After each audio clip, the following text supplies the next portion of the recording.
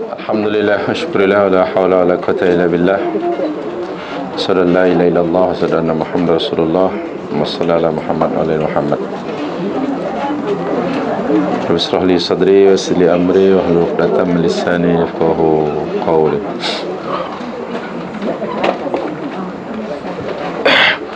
Raditu billahi rabba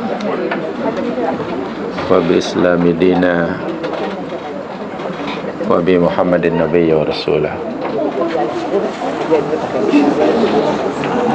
قال الله تعالى في القرآن العظيم وهو أصدق القائلين بالله من الشيطان الرجيم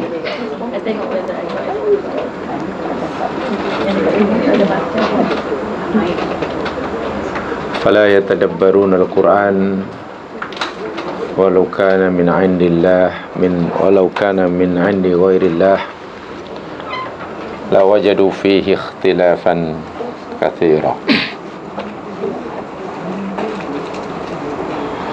Maka tidakkah mereka tadabur akan al-Quran?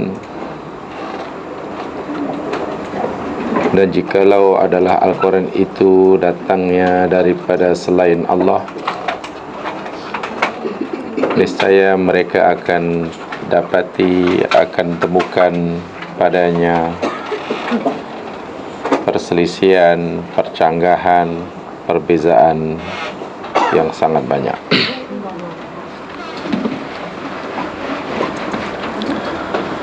Kita teruskan seri kajian Balaghatul Quran kita. Dan kita masih bicara tentang cabang ilmu bayan kaitan dengan al-kalimat al-mutaradifat al-mutasyabihat fil Quran. kalimat-kalimat yang mutaradif yang mutasyabihat yang sinonim yang saling yang serupa tetapi mempunyai maksud yang tidak sama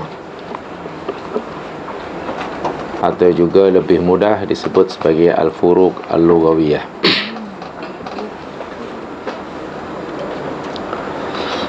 Sudah beberapa contoh yang telah diberikan.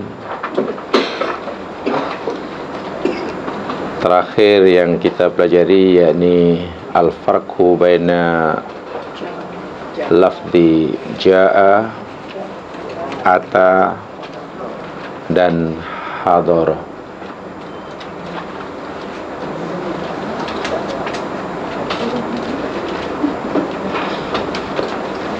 Secara umum seperti mana daripada penjelasan siri lepas kalimah ja'a yang sentiasa kita temukan dalam bentuk madi tidak ada mudhari' tidak ada amar tidak ada isim fa'il tidak ada isim maf'ul tidak ada zaman makan tidak ada alat. Semuanya dalam bentuk fi'il madi tusta'malu fihi lima fihi masyaqqah digunakan dalam Al-Quran menunjukkan ada padanya kesusahan kesulitan sesuatu yang tidak mudah. Kepayahan. Berbeza dengan kalimah ata yang juga ada madi, ada mudhari. Digunakan tusta'malu digunakan untuk menunjukkan datangnya sesuatu bisuhu latin wa yusrin. Menunjukkan datangnya sesuatu dengan mudah dengan senang. Dengan mudah dan dengan senang sementara hadara diguna pakai di dalam Al-Quran itu merupakan satu keadaan di mana la mafarra minhu. Sesuatu yang datang di mana bila sesuatu yang datang seseorang tidak dapat melepaskan daripadanya.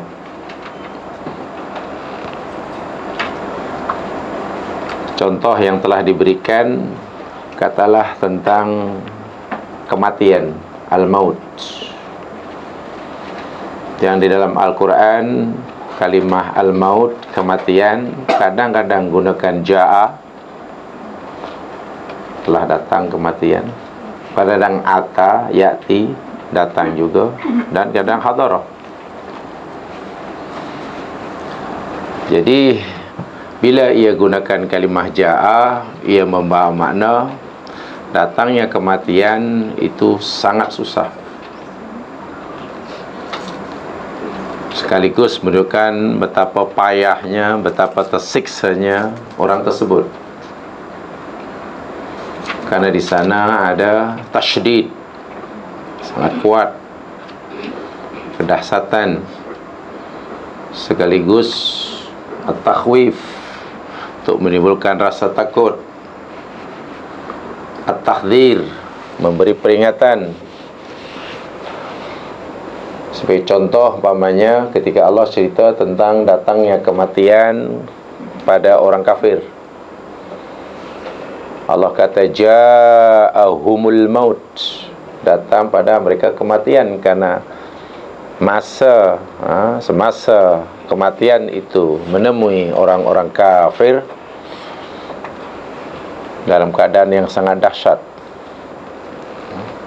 Azab sehingga mereka merunta-runta, merayu-rayu, merengek-rengek ingin ditambah ataupun ingin dikembalikan ke dunia semula. Tidak mau meneruskan perjalanan saat itu walaupun ianya hanya sia-sia. Berbeza dengan ketika Allah cerita tentang datangnya kematian kepada orang mukmin. Walaupun si mukmin tadi mukmin asin mukmin yang derhaka. Ha? walaupun si mukmin dari mukmin yang derhaka yang berdosa Allah tak kata ja'ahumul maut. Tapi ata atau yati? Yati ahadakumul maut kematian yati datang. Ya karena datangnya kematian pada orang mukmin ini sebagai satu tazkir peringatan. Bukan amaran tapi peringatan. Dan juga takhfif menunjukkan adanya keringanan. Jadi bila gunakan ata memberi makna takhfif keringanan sementara ja'ah gunakan tash memberi makna tasydid berat. Hmm. Sebab itulah kepada si mukmin ha, walaupun dia melakukan dosa kerana dia leka, tidak beramal atau tidak tidak infak semasa ia ada peluang untuk infak dan ada kemampuan untuk melakukannya tapi tidak mau melakukannya itu cuai dia diberi kemampuan untuk infak dan ada kelapangan untuk infak tapi tak ada kemauan sudosa. Kalau dia ada ke apa namanya kemauan tapi tak ada kemampuan, ya tak dosa lah. Bahkan jika ia menyesal, malah dapat pahala. Hiba, sedih, dia ingin berbuat tapi tak mampu. Ha. Orang yang ada keinginan untuk melakukan suatu kebaikan, malangnya tidak mampu, itu dapat pahala dapat pahala. Ini tidak ini ada kemampuan, ada peluang kalau kemampuan ada peluang tetapi tidak mau maka ia berdosa. Sungguh pun ia berdosa karena ia si mukmin. Ha, datangnya kematian tidaklah jaa tapi hatta. Menyesal menyesal betul menyesal. Sebab dia dia kata laula akhartani ila ajalin qarib. Ya Allah, apalah? Kenapalah engkau tidak tangguhkan aku pada ajal yang sedikit atau tambah masa? Sedikit supaya aku dapat bersedekah dan jadi orang yang saleh. Menyesal juga.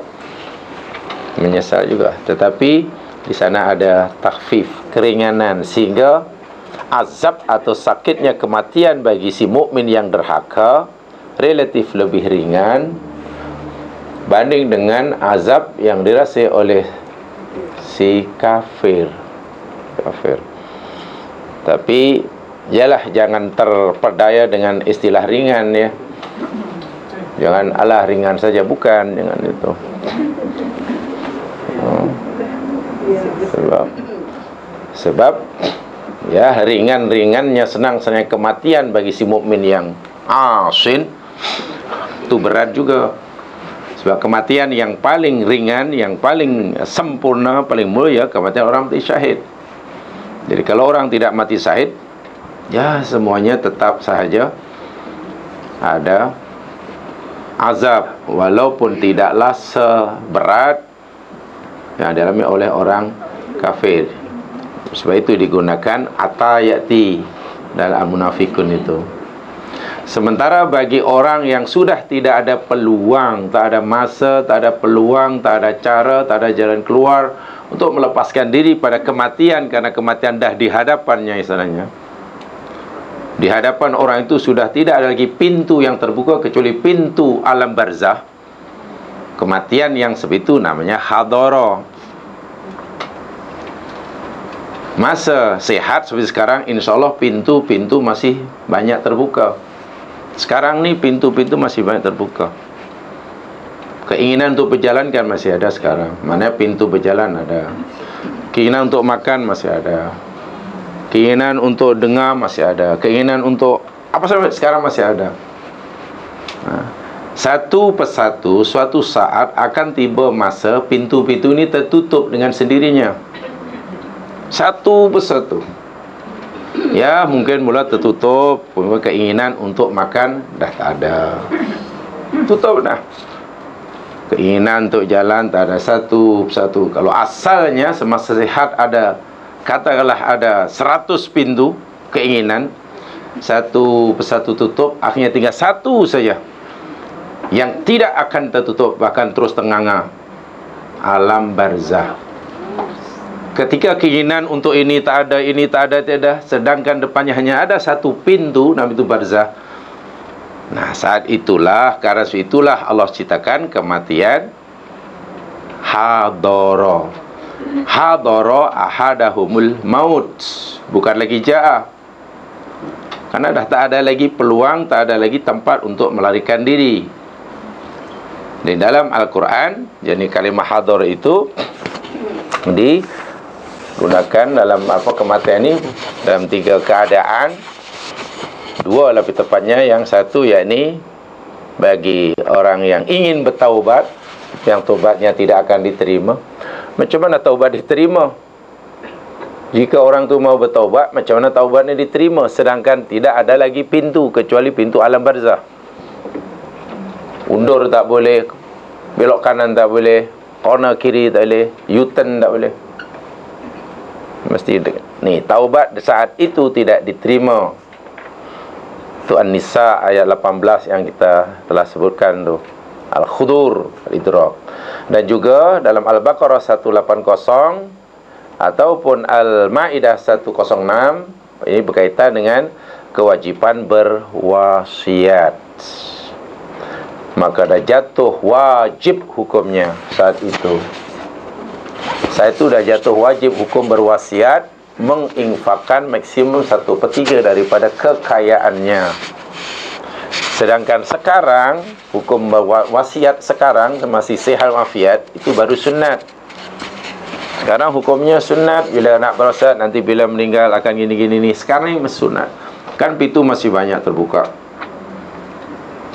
Tapi bila sudah tidak ada ruang, peluang untuk mengelak, hukumnya ada jatuh wajib sebab itu Allah kata kutiba Al-Baqarah 180 kutiba ha?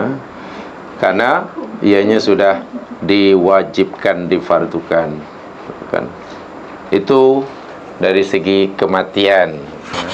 jadi mudah untuk difahami perbezaan antara ja'a hadara dan ata bila contohnya kematian Sekarang ada contoh yang lain. Mari kita lihat lagi satu contoh kaitan dengan kalimat ini. Lihat surah Al apa di sini?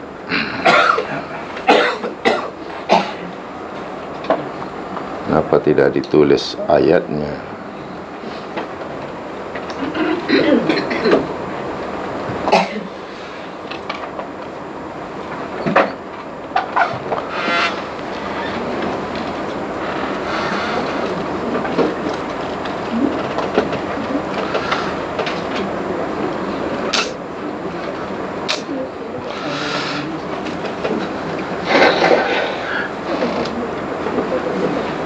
Ayat yang ke-110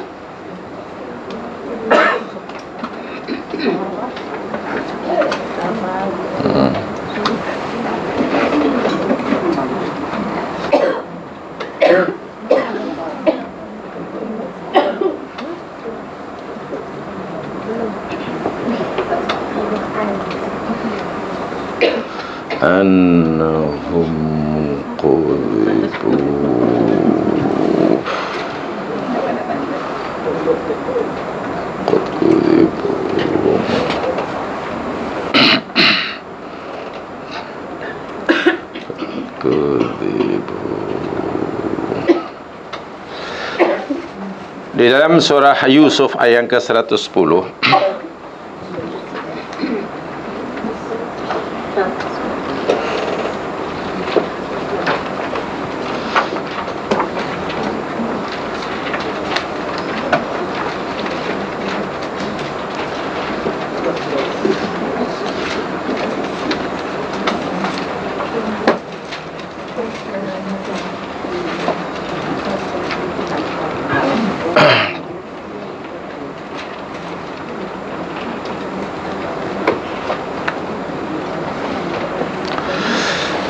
dan Al-An'am 34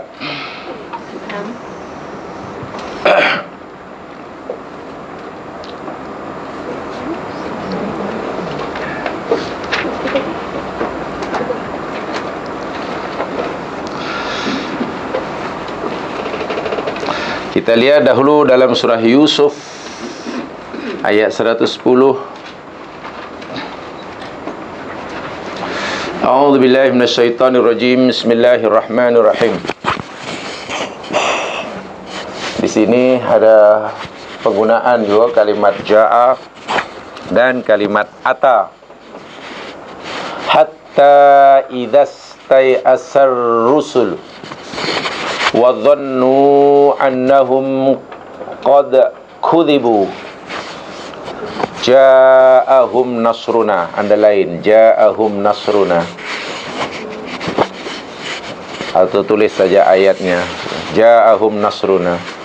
Wa nujjiya man nasha' Wala yuraddu ba'suna Anil qawmil mujrimin hatta sehingga ida apabila istai asa telah berputus asa. Walaupun mungkin itu tidak tepat ya berputus asa. Ar-rusulu rasul-rasul sebab mana rasul punya sifat putus asa. Artinya rasul tadi telah berusaha sepenuhnya pelbagai cara telah dilakukan siang malam pagi petang seperti mana kata Nabi Nuh alaihissalam tapi tak juga mengubah keadaan. Itulah maksudnya. Selagi masih ada cara yang belum dicobanya dalam keadaan dakwah pasti Nabi akan gunakan. Ini tidak lagi cek lagi cara. Tapi tetap juga mereka berusahakan itu makna istai asa. Artinya usaha yang sudah maksimum sebab tentu tak boleh kita artikan putus asa Mana Rasul putus asa tidak boleh. Putus asa adalah sifat orang kafir Sifat orang zalim dalam Al-Quran. Putus asa kata Quran Sifat orang kafir Atau sifat orang zalim. Jadi terjemahan putus asa itu sebenarnya taklah tepat. Tak ada makna lain. Wadhannu dan mereka para Rasul yakin Annahum bahwasanya mereka mereka rasul qad kudibu telah didustakan Dan ini boleh lihat dalam kisah Nabi Nuh. Dalam keadaan seperti itu, ja'ahum nasruna. Datang kepada mereka pertolongan kami. Ja'ahum, ja'ahum nasruna, ja'ahum nasruna. Nujjiya man nasya' dan telah diselamatkan siapa yang kami kendaki wala yuradu ba'suna dan tidak didapat ditolak siksa kami anil qaumil mujrimin dari kaum yang berdosa. Baik, dalam ayat ini ceritanya kisahnya Rasul telah didosakan oleh kaumnya. Dan akhirnya Rasul itu dapat pertolongan. Pertolongan Allah datang pada mereka. Ja'ahum nasruna gunakan kalimah ja'a. Sekarang dalam surah Al-An'am itu tak payah tutup dahulu nanti tengok semula. Kan ini yang kita nak pelajari. Di dalam surah Al-An'am ayat yang ke-34. Hmm.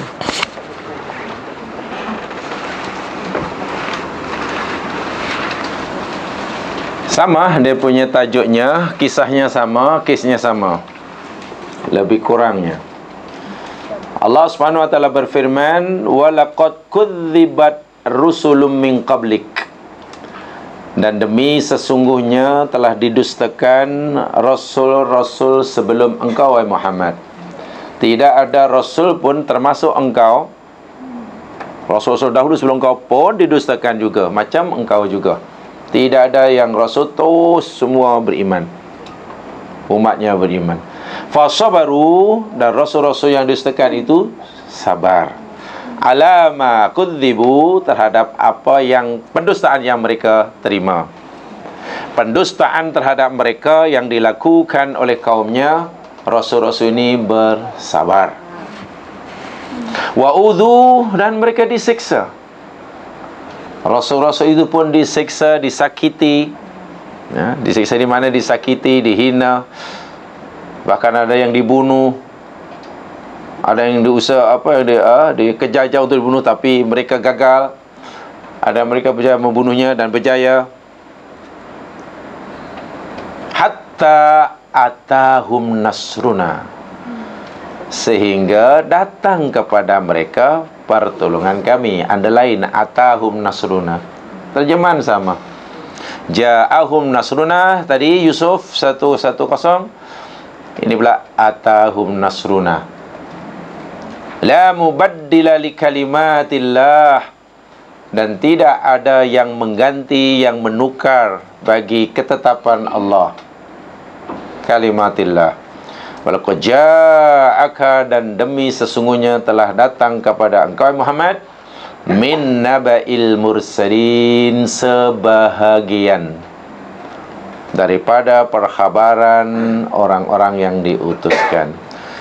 Sebagian berita cerita para utusan telah datang padamu. Tatkala dan demi sungguhnya semua rasul sebelum engkau telah didustakan. Lalu mereka bersabar atas pendustaan yang mereka alami dan mereka pun disakiti oleh kaumnya. Ada yang diusir, bahkan ada yang dibunuh sehingga atahum nasruna. Datang pada mereka pertolongan kami. Yang tadi qad kudibu ja'ahum nasruna. Datang pada mereka pertolongan kami. Terjemah Melayu lebih kurang sama. Tolong beritahu saya kenapa berbeza?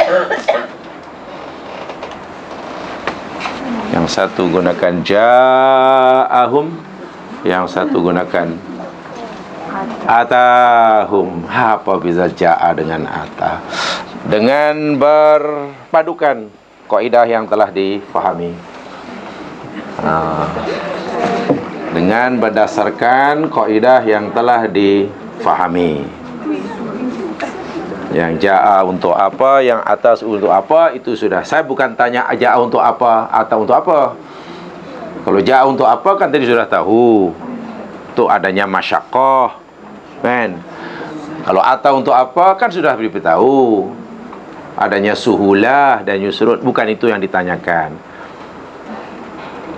Yang ditanyakan kenapa yang itu gunakan ja'al dengan ada masyakoh, yang kedua hanya atas dengan suhulah. Kenapa yang satu datangnya pertolongan begitu susah sementara yang satu menunjukkan datangnya pertolongan begitu nah apa sebabnya? Ceritanya sama Rasul didustakan. Nah, ini balaghah ini bayan. Hmm, ini balah ini bayan. Kalau hanya sekitar saya maknanya okeylah kalau ada persamaan semua Rasul didustakan itu sama. Semua rasul telah tidak berdakwah sama. Semua rasul menghadapi cabaran sama. Dan akhirnya semua rasul dapat pertolongan sama itu dah faham dah. Bukan itu yang dipelajarinya. Yang dipelajarinya kenapa pertolongan Allah yang Allah berikan pada rasul ini tak sama. Ada datangnya pertolongan begitu susah, ada yang mudah, relatif mudah. Di mana agaknya yang menjadi penyebabnya? Kaidahnya dah tahu, dah tahu. Hmm. Satu sabar. Satu sabar, yang satu bengkak. yang satu sabar, akhirnya pertolongan datang mudah. Yang satu kecewa. Mana kecewa? Saya kata dia istai asa jangan difahami negatif. Ini untuk Rasul. Kecewa itu konotasinya negatif. Putus asa itu negatif. Jadi dah awal-awal diingatkan. Hmm, diingatkan. Hmm. Kalau diartikan kecewa itu negatif itu tak betul sebab tadi sudah beritahu Rasul tidak mungkin kecewa. Rasul tidak mungkin apa putus asa karena putus asa kata Quran sifat orang kafir dan seorang zalim. Ha ke? Yang satu karena sabar, yang satu karena sukar. Sukar kerana apa? Oh, mana kalau Rasul itu berusaha lebih datang pertolongannya? Lambat sikit, susah. Kalau Rasul kurang usahanya Pertanyaan Adakah Rasul yang Cincai dakwahnya? Yang Mula dikejar. Kod-kod yang Rasul ini Hebat lah. Memang full time jadi Rasul. Yang ini macam part time jadi. Nanti jadi Rasul part time pula. Ya Oh, pendustaan oleh kaumnya berat yang Allah cakap dalam Al-An'am ni ringan.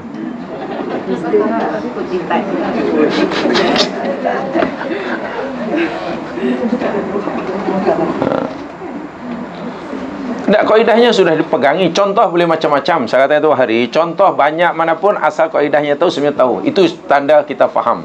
Itu aja. Kaidahnya sama. Ja'a untuk apa? Atau untuk apa? Qadar untuk apa? Jadi apa di sini?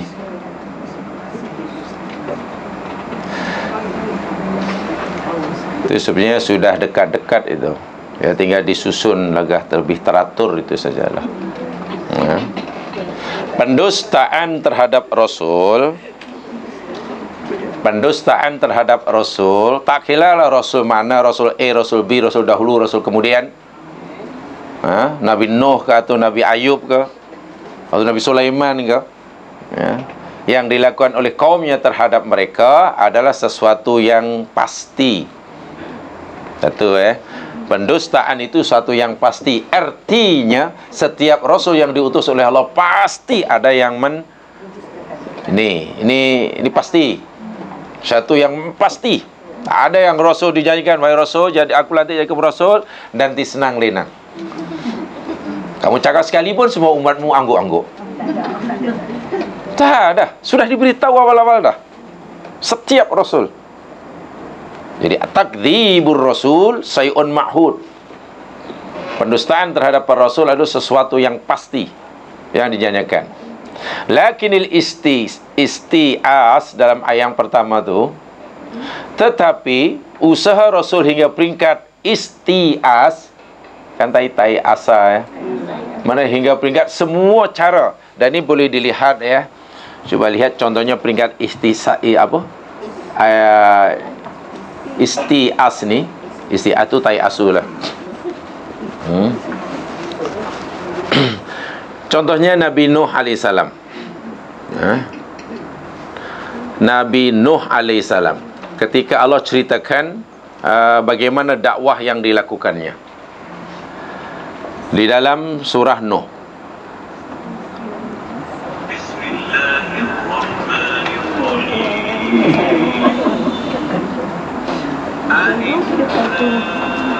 Saya nak tunjukkan eh. Ini maksud isti'as ya.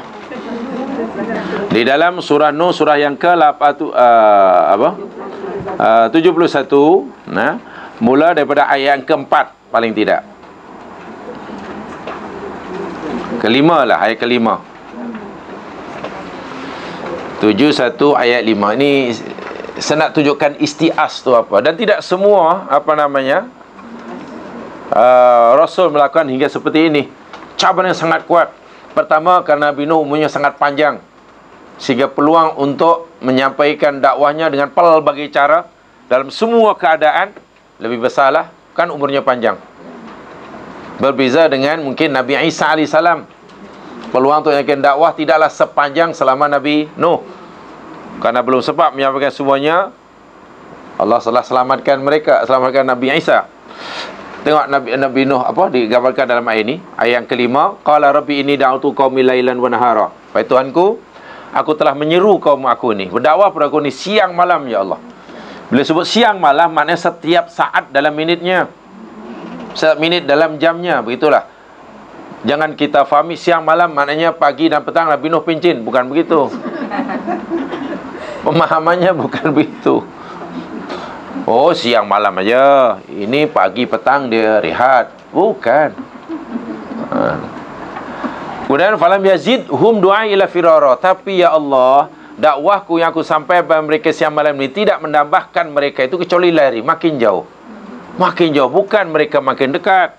Bukan mereka makin menerima, tapi makin lari menjauh firar. Wa ini kulama da'utuhum setiap kali aku seru mereka ya Allah litaghfir lahum supaya engkau tujuannya supaya engkau dapat mengampuni dosa mereka kan di, diajak oleh Nabi Nuh ha, supaya dosa mereka diampun oleh Allah.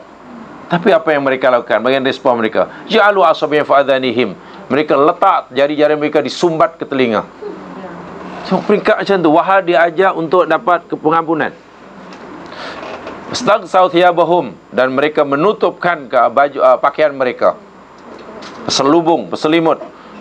Kerana nak pastikan bukan sekadar tak dengar suara Nabi Nuh, bahkan tak lihat muka Nabi Nuh. Cuba bayangkan kalau kita jadi pendakwah seperti itu. Kan? Wasarru dan mereka berterusan ya Allah. Mereka melakukan perbuatan ini bukan sekali dua berterusan. Wastag baru stikbarah menyombongkan diri. Thumma inni da'autuhum kemudian ya Allah aku seru mereka jiharan dengan terang-terangan. Tidak lagi menggunakan bahasa yang berselindung, bahasa yang berlapik. Memang dengan bahasa yang jelas, terang. Direct to the point lah. Kalau kata awak ni katalah degil, jadi sebutlah awak ni kepala batu. Macam tu lah. Awak ni kepala batu, muka dinding. Itulah. Kepala batu, muka dinding. Nak tahu-tahu malu lah maksudnya ha, apa terang-terangan tak ada lagi dengan bahasa yang sopan sikit yang selindung tak ada teranglah kalau salah-salah thumma ini a'lantu alakum wasratu lahum israra kemudian aku nyatakan pada mereka ya Allah iklan dan ada juga wasratu lahum israra dengan cara sembunyi pun sudah faqutu astaghfiru rabbakum innahu kana ghafara Aku pun suruh mereka ya Allah supaya mereka ini mohon ampun kepadamu sebagai Tuhan mereka karena engkau Maha Pengampun. Supaya engkau dapat turunkan hujan yang lebat ayat 11 dan supaya engkau dapat memberikan uh, nikmat ha? perpanjang nikmatmu kepada mereka berupa anak pinak kebun-kebun dan juga mata air yang ada di kebun. Ha? Dan karena mereka tidak punya harapan kecuali pada Allah kerana Allah telah mencipta mereka atwaran dan seterusnya dan seterusnya akhirnya tengok apa jawapan mereka setelah Nabi Nuh puah berdakwah kata orang dah berbuih lah Tapi jawapannya tadilah. Akhir Nabi Nuh tengok ayat yang ke penghujung dia. Ayat 21. Qala Nuh. Rabbi innahum asuni. Tuhan, wahai Tuhanku, mereka ini terus menderhaka akulah. Tidak ada yang mau mendengar dan mereka ini sentiasa mengikuti seseorang yang hartanya dan anaknya tidak menambahkannya kecuali kerugian. Yang mereka jadi ikutan, yang mereka dengar ucapannya, yakni orang-orang yang sesat, yang terpedaya oleh kekayaan dan anak pinak. Tidak dengar ucapan aku. Bahkan terhadap aku, wa makaru makron kubara. Mereka buat pakatan jahat Akhirnya tengok sikap mereka. Kata orang berbuih Nabi Nuh berdakwah.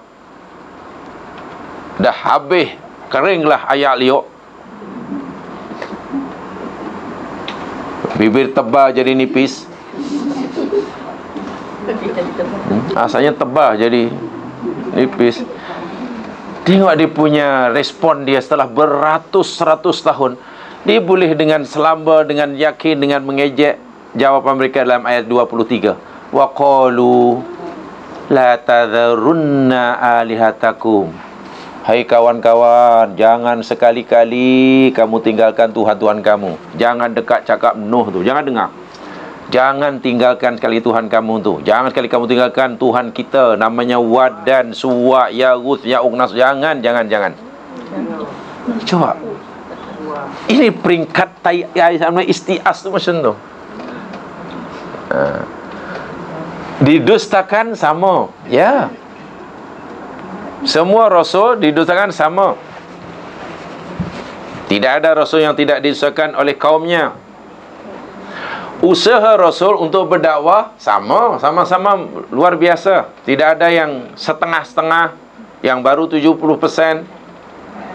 tetapi tengok kadar kesusahan berdakwah Nabi Nuh alaihissalam dengan Nabi Sulaiman alaihissalam. Jauh. Nabi Muhammad SAW susah tapi taklah sampai beratus tahun. Taklah sampai beratus tahun. Jadi bila dakwah seperti itu, pendustaan seperti itu, maka datangnya pertolongan pun ya agak susah, agak lambatlah. Kan ja'ahum nas runa bukan atahum. Ja'a Susah sehingga mengharapkan sangat sehingga Nabi Nuh pun berdoa eh, hingga peringkat Nabi Nuh berdoa. Doanya yakni ayat yang ke-26 hingga peringkat macam tu. Jarang Nabi yang berdoa hingga itu. Itu pun Nabi Nuh doa itu setelah sekian ratus tahun berdakwah dengan pelbagai cabaran. Doanya akhirnya Nabi Nuh akhirnya berdoa wa qala Nuh rabbi la tadhar 'alal ardi minal kafirin dayyara. Wahai Tuhanku, janganlah engkau biarkan di atas muka bumi ini sebagai tempat tinggal daripada bagi orang kafir. Jangan biarkan ya Allah seekor pun orang kafir yang menempati bumimu ini. Fuh. Jangan biarkan ya Tuhan. Innaka intadarhum jika engkau biarkan mereka yudillu ibadak. Pasti mereka akan menyesatkan hamba-hambamu wala yalidu ila fajrun kafara dan mereka tidak akan beranak kecuali akan melahirkan anak-anak yang jahat juga dan kafir juga macam tok nenek moyangnya moyangnya jarang nabi yang yang orang seperti ini zaman jarang sangat. Nabi Musa yang berdoa. Tapi doa Nabi Musa kan ya Allah sehingga aku tidak punya kuasa melainkan aku dan saudaraku. Pisahkan aku dengan kaumku. Doa Nabi Musa masih ada lapik. Pisahkan dan Allah kabulkan. Akhirnya kaumnya dibingungkan. Begitu. Tapi doa Nabi Nuh terang-terangan. Ya Allah jangan biarkan walaupun seekor orang kafir seekor ya. Ini untuk saya sajalah ini prof ya ini yang lain tak boleh ikut untuk saya tolong dibenarkan orang kafir seekor. Yang lain tak boleh. Dasar itu maknanya Oh Sulit kita nak bayangkan. Dan bukan sehari dua. Bukan sehari dua. Ejekannya luar biasa Jadi jika Rasul pun dinyata oleh Allah Bahawa takzib pendustaan yang dilakukan oleh kaumnya itu satu yang pasti ya apalagi hanya kita sebagai umat Islam disuruh menyampaikan walaupun satu ayat. Ya dari ayat itu benda yang kecil mah kecil kecil. Jadi kalau mudah tersinggung ya pencin aja jadi pendakwah. Kalau mudah tersinggung pencin saya jadi orang Islam tapi tak sampai hati nak pencin jadi orang. Iya, aku tegur dia tiba-tiba aku pula di sakitnya. Ih, tak naklah, tak pernah. Siapalah kita merasa begitu ya. Tapi walaupun Nabi Nuh didustakan sedahsa itu, Nabi Nuh tidaklah orang yang membohong. Tak, di orang didustakan belum tentu ia jadi dia apa orang yang dusta. Nabi Nuh orang yang sadiq. Orang yang tulus ikhlas, orang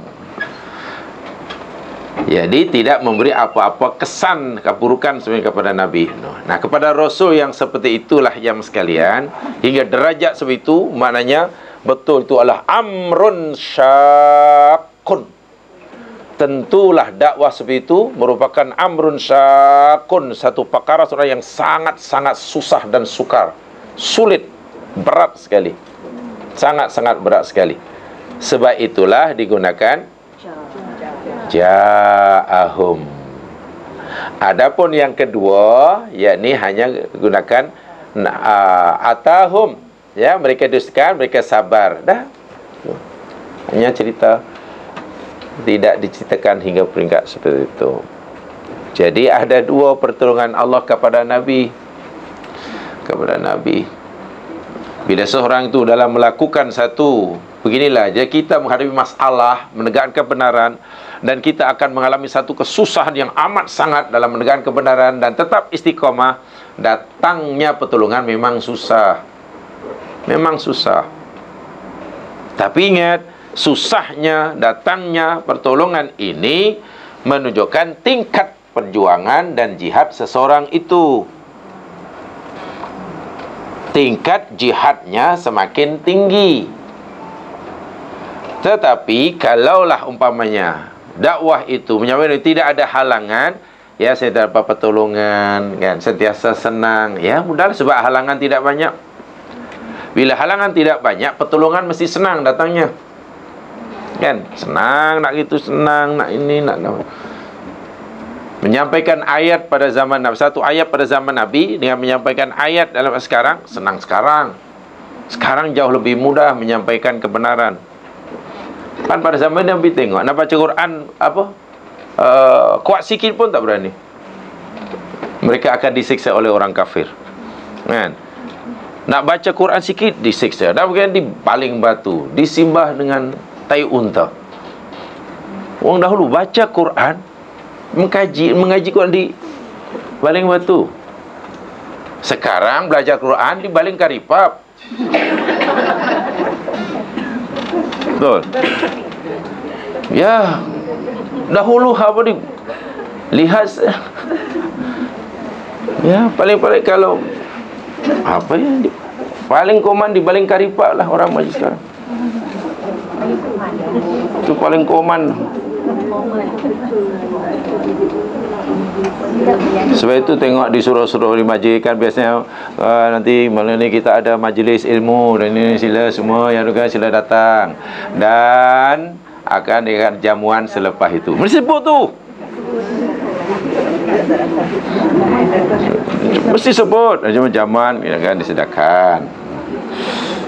Besok pagi insyaAllah ada kuliah subuh. Yang dimanfaatkan Dan insyaAllah sarapan pagi disediakan. Mesti Paling teruk, paling koman lah Kari Kari pap. Kalau bom pun roti bom Bukan bom betul. Cuba dakwah pada zaman Nabi. Sampaikan pada zaman Nabi. Dimaki-maki orang.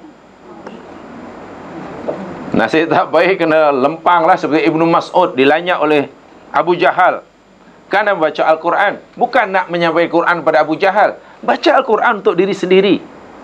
Ketika Quran belum cukup 30 juz juzuk di Makkah. Jadi Abu Lahab, Abu Jahal menjadi ketua Quraisy ha, Karena negeri Makkah masih dikuasanya Merasa terganggu.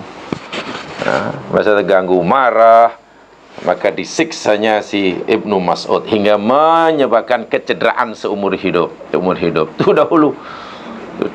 Sekarang Allah Senang ya mas kan? Di baling karipap dalam duduk dalam ekon. Oh, boleh sambil cari tiang tu bersandar boleh sambil senang jadi mana pertolongan tu senang nak pergi dah ada kereta nak parking boleh depan pintu. Kan tu pertolongan-pertolongan belaka tu. Sebab cabaran tidak ada. Tapi ingat bila cabaran tak ada jadi darajatul mujahadah tingkatan jihad tu jadi rendah bukan itu jangan disyukuri senangnya semata. Tapi hendaklah kita kecewa kerana darjah jihadnya jadi kan begitu ya? Menyampaikan Islam di negeri ini jauh lebih senang lah Berarti menyampaikan Islam mungkin di negeri mana mungkin di yang minoriti atau mungkin Islam yang sebagai tertindas. Oh susahnya luar biasa tu. Coba menyampaikan Islam di Myanmar. Dicekik itu. Dicekik. Situ pertolongan Allah nampaknya susah sangat datangnya. Susah sangat. Dan susahnya itu sebenarnya menunjukkan cabaran dakwah sangat besar. Dan bila cabaran sangat besar, maka tingkatan jihad itu makin tinggi. Sehingga setiap yang dilakukan pahalanya besar.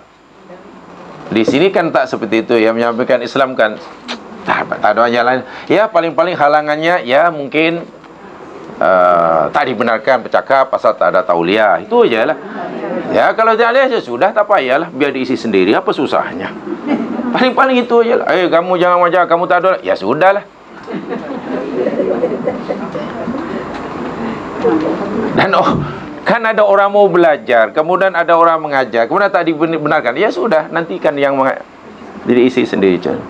Paling-paling itu aja lah dan itu tak ada di masalah sebetulnya ya. Sebab mungkin yang menghalang itu pun sebenarnya dalam hati kecilnya eh betul ke aku ni menghalang orang baca Quran? Dalam hati mesti rasa betul ke aku ni? Sebab jangan-jangan kalau dia memahami lah tafsir Al-Alaq surah Al-Alaq mungkin tak tergama ya. Sebab Al-Alaq ada ara'aid alladhi yanha abdan idha sallah. Cuba baca tafsirnya itu. Ara'aid alladhi yanha abdan idha sallah apa pendapatmu wahai Muhammad? Orang yang suka menghalang-halangi. Seorang hamba yang idza shalla shalla mana berdoa. Doa mana beribadah. Nak ibadah tapi dihalang. Itu coba baca tafsirnya betul-betul itu. Nanti kan mungkinlah orang yang menghalang itu kan rasa dalam kalau dia mau belajarlah. Tapi kalau tak mau belajar ya apa boleh buat? Sudah. So akhirnya kan nafsi-nafsi nanti di hadapan Tuhan ya. Di hadapan Tuhan. Itulah. Jadi saya yakin Allah akan beri pertolongan kepada mujahid-mujahid menyampaikan kebenaran di Myanmar. Pertolongan itu seperti sangat susah datangnya. Terasa susah sangat. Macam tak ada pertolongan. Nah ini kena sisa. Nah ini. Bila lah agaknya. Bahkan hingga peringkat jamaah sekalian bila sampai suatu hingga peringkat macam ini. Coba baca ayat ini. Bila sampai peringkat seperti ini maknanya oh susahlah kita nak membayangkan ya bagaimana teruk dan pahitnya dakwah. Al-Baqarah 214.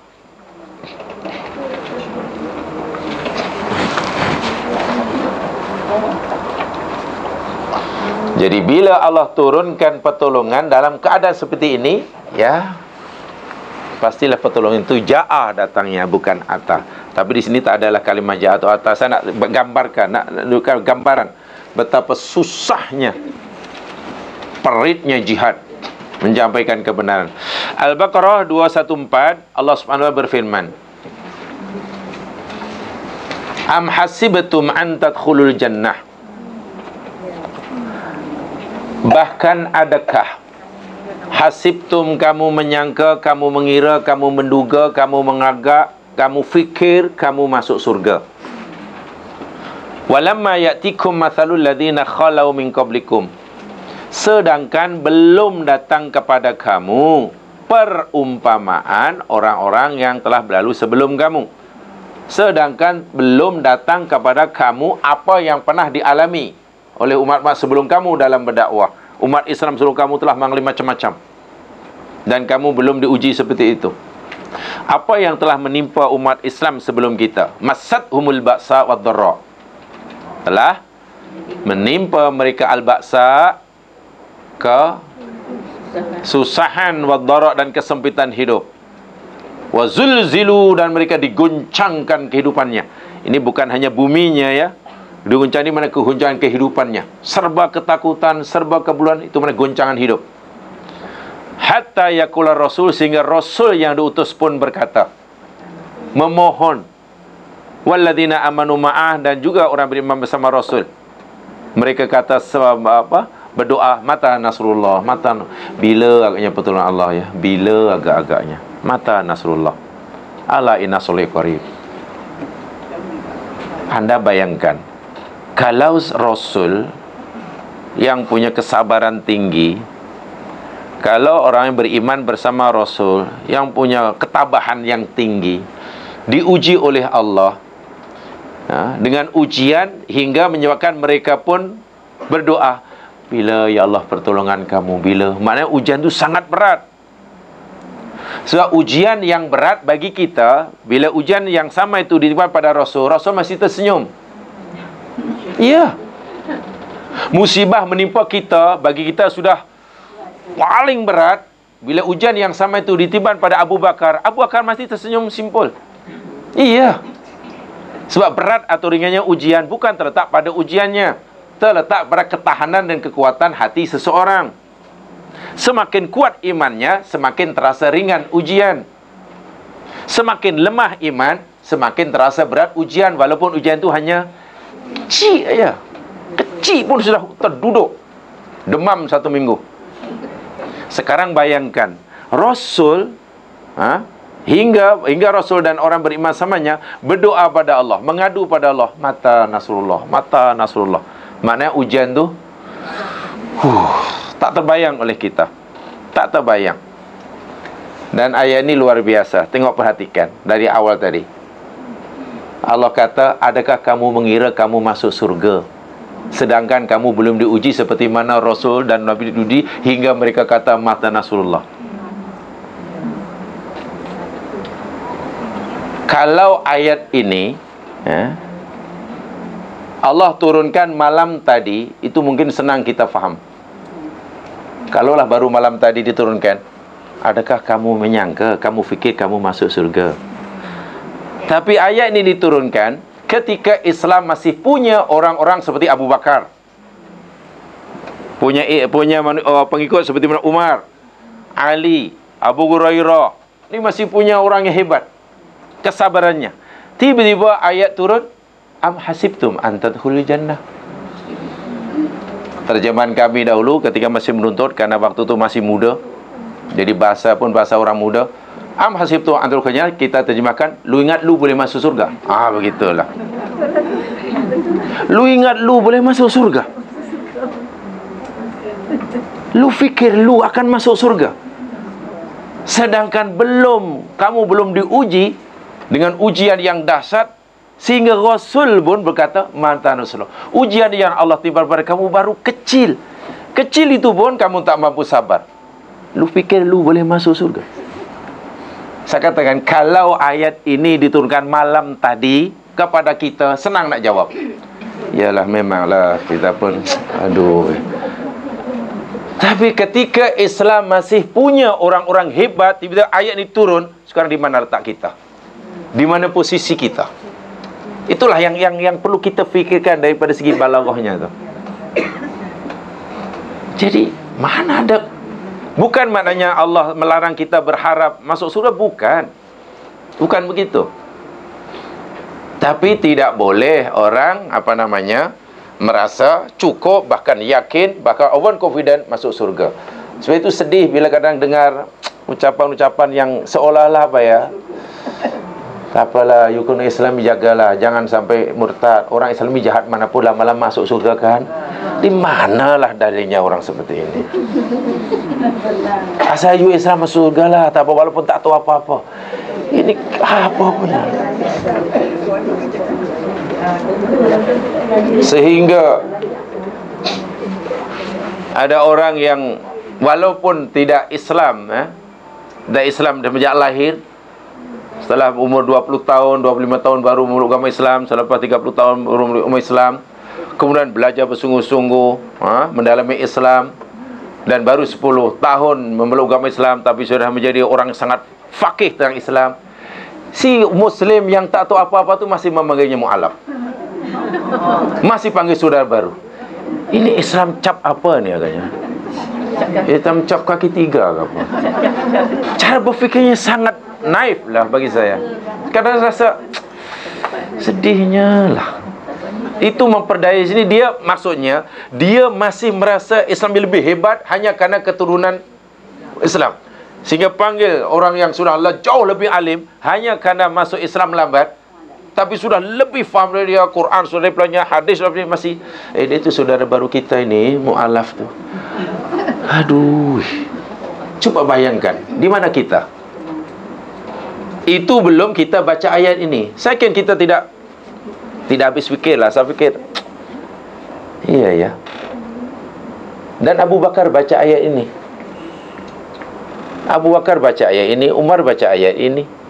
Istri-istri Nabi baca ayat ini. Dan tegurannya sangat keras di awal itu. Itulah kalau terjemahan kami masih menuntut dulu, lu ingat lu boleh masuk surga. Lu fikir lu boleh masuk surga. Dengan penampilan yang seperti itu dengan ibadah yang hanya seperti itu dengan ujian yang belum seberapa sedangkan orang sebelum kamu sedangkan Allah kata sedangkan belum menimpa kamu apa yang telah menimpa kaum sebelum kamu ditimpa musibah bencana yang dahsyat hingga rasul yang orang beriman pun mengadu pada Allah ya Allah bila lah agak-agak pertolonganmu bila agak-agak dan Allah jawab ala inna nasrullahi qarib sangat dasar. Saya yakin pertolongan seperti ini datangnya pasti dengan ja'a. Jadi mudah atau susahnya ha? mudah atau susahnya datangnya Nasrullah itu bergantung kepada tingkat kesusahan orang itu berpegang pada kebenaran. Semakin berat cabarannya, ya tentu susahlah datang pertolongan. Tapi jangan dirisaukan tentang susahnya datangnya pertolongan Allah. Karena disitulah tanda aras untuk menentukan tinggi rendahnya tingkat mujahadah. Dan ganjaran di sisi Allah bergantung pada amal itu, kualitinya. Jangan kita buat amal yang sedikit tapi harapannya terus masuk surga nomor wahid. Ya tak boleh lah. Walaupun fitrah manusia suka begitu Kalau boleh buat yang paling mudah Paling senang, paling ringan Tapi ganjarnya paling banyak Kan itu Nafsu manusia begitu ya. Tak ada yang ingin Oh kalau boleh Tapi dia lupa hukum Allah Allah akan memberi balasan sesuai dengan amalannya Tapi manusia ini keinginannya memang seperti itu. Kalau boleh Kerjanya paling ringan, paling mudah tapi gajinya puluhan ribu. Kalau boleh macam tu lah. Kalau itu tak berapa yang ya dan itu sebenarnya tidak baik. Ya. tidak baik. Tapi begitulah nafsu manusia. Nah, itu nafsu ya bukan iman. Tu ya? Tahu ya beza ni dan banyak lagi banyak jamaah boleh contoh yang lain. Boleh bagi contoh yang lain. Sebab itu bila Allah cerita tentang urusan Allah, keputusan Allah umpamanya ha? pasti gunakan ata. Contoh ata amrullah. Telah datang pertolongan apa namanya perintah Allah. Sebab bila Allah telah memutuskan satu urusan satu perkara qada datangnya dengan mudah tidak menghadapi masalah idza jaa nasrullah kenapa idza jaa nasrullah bukan idza ata nasrullah wal fathu Idza jaa nasrullah. Kenapa ya? Kerana Ialah datangnya pertolongan dibebaskannya kota Makkah. Kan? Ramainya orang melugama Islam. Apa lagi? Datangnya pertolongan Allah kepada Nabi dan orang Islam. Bukan dapat dicapai sehari dua. Nabi Muhammad dan sahabatnya terpaksa meninggalkan Makkah ke Madinah, meninggalkan segala kekayaannya. Tidak dibawa, tanahnya ditinggal bukan sekadar wangnya tanah ditinggal kampung halaman dan tentu orang kafir akan menguasainya itu pengorbanan yang uh, luar biasa tu ha? dan sampai Madinah bukan kemudian duduk berpeluk tubuh berlenggang kangkung bertopang dagu menghitung bintang. Mengukir langit dengan bayang-bayang. Uh. Tapi terus suruh berperang. Uh. Susah. Sebab itu jaa nasrullah. Idza jaa nasrullah. Bukan idza ata nasrullah jadi bukan bukan maknanya bila jaa nasrullah Allah mengalami kesusahan kesukaran untuk memberikan pertolongan. Bukan begitu. Kalau ata nasrullah maknanya Allah tak ada masalah memberi pertolongan. Bukan. Bagi Allah sama saja. Maksudnya jaa nasrullah, jaa nasruhum, jaahum nasrullah, nasruna tu mana datangnya pertolongan Allah pada mereka itu direbutnya, diperolehnya dengan jalan yang sangat-sangat susah. Sangat-sangat susah. Tapi lagi sekali kesusahan itulah yang membolehkan mereka dapat ganjaran lebih. Itulah.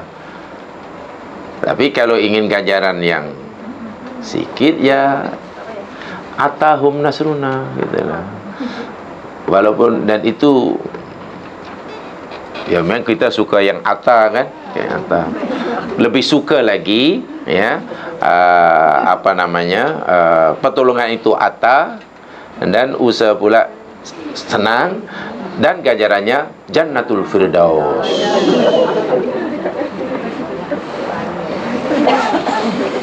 kan begitu kan Ya tak salah. Ini ini bukan cerita salah ataupun betul. Bukan. Bukan boleh atau tak boleh. Bukan itu ceritanya. Ini sebenarnya kaitannya lebih kepada adab ya, gitu. Boleh solat empat rakaat. Ha? Malam Ramadan lepas solat empat rakaat tarawih ha? 8 ke 10 ke 20 berdoa minta pada Allah minta surga surga firdaus minum minuman dia pakai baju hijau oh cocok lah minta. Surga kekal. Dengan modal salat 8 rakaat. Tak apalah boleh. Nah ini cerita boleh tak boleh? Jawapannya boleh. Ha? Tapi kalau lebih kepada ihsan Mungkin orang muhsin ya, rasanya masih malu lah maksudnya. Kenapa aku mesti minta upah surga untuk dengan hanya ibadah dengan hanya ibadah seperti ini? Sedangkan sepatutnya ibadah yang aku lakukan ini untuk mensyukuri nikmat yang diberikan sekarang. Belum terfikir rasanya minta yang di sana. Sedangkan yang mensyukuri di sini pun belum. Ha, itu orang muhsin. Bukan tak boleh ibadah minta surga, bukan tak boleh. Ini bukan cerita boleh tak boleh. Ini cerita ihsan. Situ orang muhsin yang tinggi ni Bahasanya lain ya sekalian Ada seorang muhsin ya salah soleh ditanya Atas takullah Adakah kamu Adakah Tuhan rindu kepada Allah? Dia kata Oh tidak.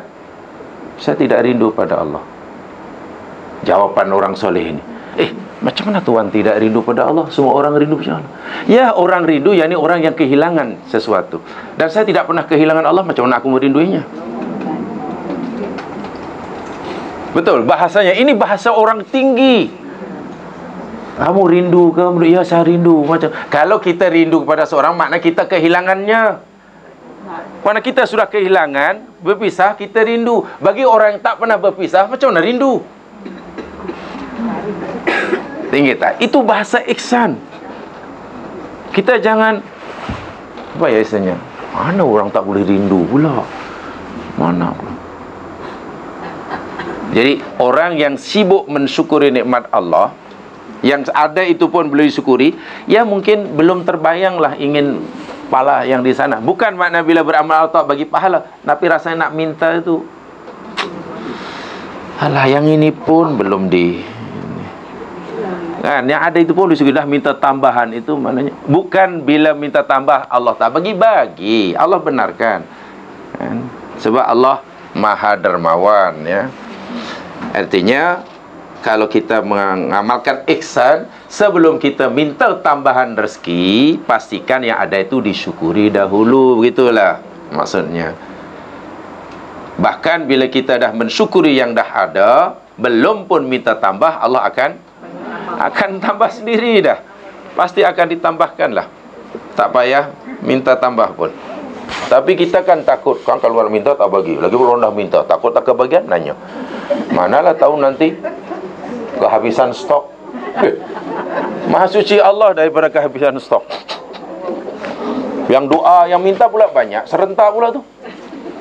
Kalau saya tak minta doa kan Habis Baik, itu ja'a dan ini Sekarang saya ingin tambah jamaah yang agak mudah Yang mudah saja Sebagai tambahan hmm. Atau ada yang bertanyakan Selama ini Satu, dua, tiga. Apa yang sudah di, belajar dia?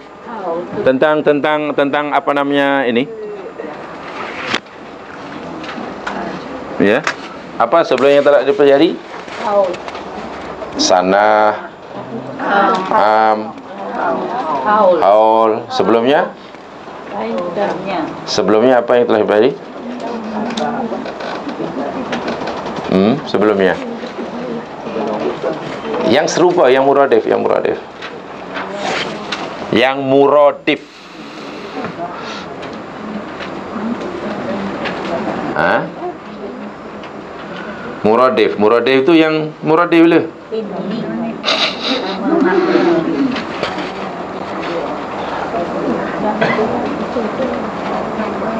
Bukan yang mufrad dan jamak. Mufrad jamak itu cerita yang sebelumnya. Ini yang muradif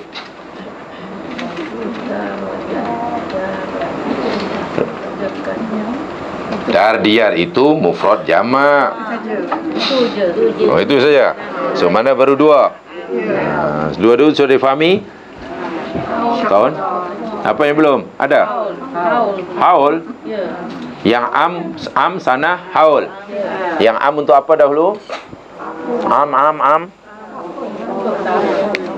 Yalah am itu tahun, sana itu tahun, haul itu tahun, bukan itu pertanyaannya. Ya, am ya ini untuk masa-masa susah. Betul? Ham. Itu bulak. Nabi Nuh diutus oleh Allah bersama kaumnya sembilan eh seribu tahun seribu sana ah ah kurang apa namanya lima puluh am ah, itu ya ke formula dia maknanya yang sana itu yakni tahun-tahun yang susah. Kalau am merujuk pada tahun-tahun masa-masa yang senang. Tuh, Nabi pada zaman Nabi Yusuf di Mesir, ya, mereka suruh bekerja selama tujuh tahun, kerja, kerja, kerja, kerja. Selama tujuh tahun kerja, kerja, kerja keras, kerja kuat itu tahun yang apa tu? Sana. Lepas itu nanti tiba masa mereka boleh apa namanya memerah apa ya uh, hasilnya kan menikmati hasilnya itu am itu am kemudian Nabi uh, apa namanya uh, Ashabul Kahfi tidur di dalam gua hmm. selama 300 tahun lebih sana atau am hmm. Tidurnya Ashabawi Tiga dah Tidur Tidur Ya Gunakan apa? Tahun atau am? Am? Pasal apa? Pasal tidur senang Nah situ dah salah faham namanya. Itu salah faham. Nabi Ashabul Kahfi hmm, Jangan tengok Qurannya Tengoknya pasti betul. Bukan itu cara menjawab Itu tak faham. Faham tu maknanya Tengok Ashabul Kahfi ni kan orang yang kemudian dikejar-kejar. Sangat susah. Bahaya. Nyawanya terancam kan? Sehingga masuk dalam gua itu pun Karena susahnya perjuangan Dan mereka bukan niat untuk tidur Sebenarnya Allah tidurkan Mereka bincang langkah apa esok hari yang tak dilakukan jadi tidurnya itu dalam keadaan ketika ia dalam keadaan susah lah. Tak payah tengok Quran kalau Quran mesti betul. Sana tu sana. Ah, macam tu. Bukan begitu memahaminya. Itu macam tengok dictionary. Dan tengok sendiri akhirnya menghafal. Sedangkan kau tak menghafal hanya 10 patah kata. Ha, itu cara belajarnya kena betul. Ha, kena betul. Kaum Nabi Musa dihukum oleh Allah 40 tahun bingung. Tahun apa itu? 40 tahun bingung. Sana atau am agaknya? 40 tahun bingung di padang pasir. Bingung di padang pasir 40 tahun tu susah ke senang atau happy enjoy enjoy. oh, 40 tahun bingung, enjoy relax. Tiap malam selama 40 tahun asyik berdansa dansa. Mestilah 40 sah sana sudah pasti itu. Sudah pasti. Hmm. Nabi Yusuf di penjara selama beberapa tahun, tahun sana tahun am, dalam penjara, dipenjarakan bukan kerana kesalahan. Mesti sana. Begitulah maksudnya memahaminya. Kalau ingin memastikan baru cari ayatnya. Iyalah. Jangan tengok ayatnya baru di itu terbulak.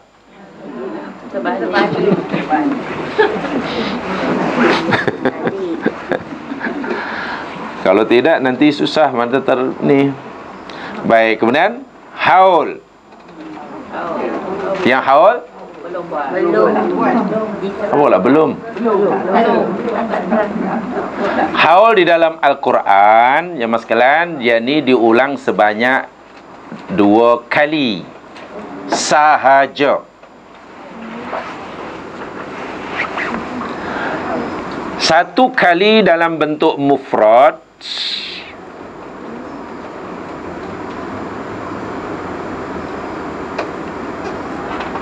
itu berkaitan dengan kematian. Ada dalam surah Al-Baqarah 240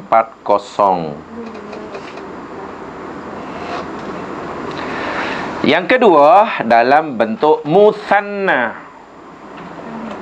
Yang kedua dalam bentuk musanna. Berkaitan dengan kelahiran anak. Penyusuan lebih tepatnya penyusuan anak. Ada dalam surah al-baqarah 233 baik ini maklumat uh, tentang haul. Soal ini kalimat haul dalam Al-Quran disebut dua kali sahaja. Pertama dalam bentuk mufrad kaitannya dengan kematian